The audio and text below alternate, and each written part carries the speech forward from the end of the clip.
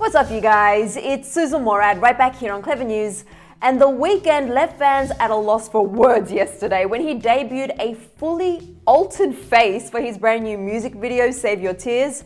And we just have one question Abel, is that really you? The Weeknd is officially parading bandage free in his new music video for Save Your Tears that dropped Tuesday, and we finally have some insight as to what prompted his mysterious medical face procedure he's been flaunting for quite some time now. He's stayed true to character since before debuting the bandages on stage at the 2020 AMAs back in November, where he performed a medley of Save Your Tears and In Your Eyes.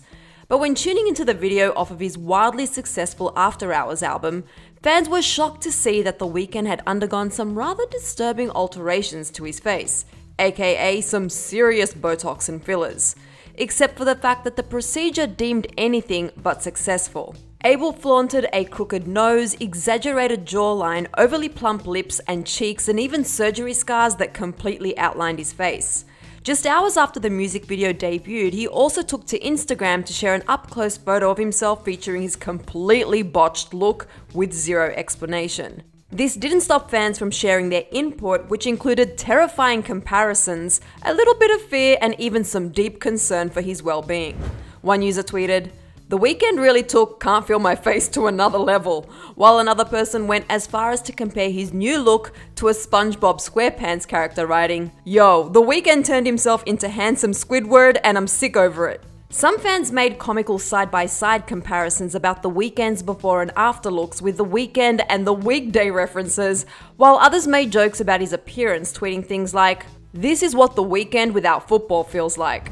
But despite how real and lifelike these disturbing features may appear, don't worry you guys, Abel is just wearing prosthetics as a means for added promotion for his album.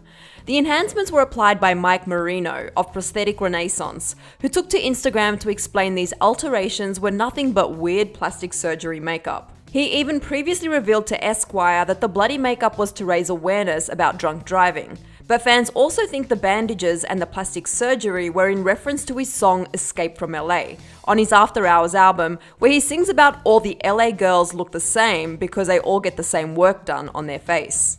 In his Save Your Tears video, another hidden reference came after he threw a trophy that resembled a Grammy, which many fans recall just a few months back when he was snubbed from receiving any 2021 Grammy nominations for his incredible album that debuted at number one on the charts and sold more units than any other album in the first half of 2020.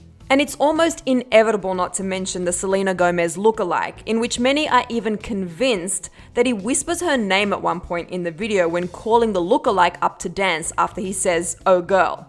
It's quick, but take a listen. Okay, that one's still up for interpretation, and of course, even though many fans believe that the female in the music video looks a lot like Selena, the lyrics I Made You Cry When I Run Away, among others, are also believed by some fans to potentially be referencing his past relationship with Bella. But if there's anything we got out of all of this, it's that The Weeknd is one hell of a dedicated artist. Oh, and thank God those lip fillers and cheek injections are fake. And to see the effect Selena Gomez has on males in the music industry, click right over here for another Clevver video.